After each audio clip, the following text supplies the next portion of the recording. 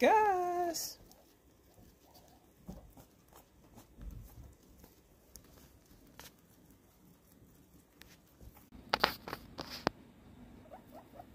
Gus is all over the place.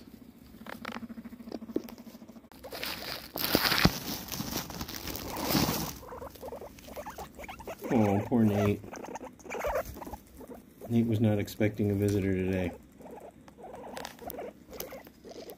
Gizmo. So this is probably the end of the play date. Hi, Gary. Gary just wants to eat hay and he wants to chill.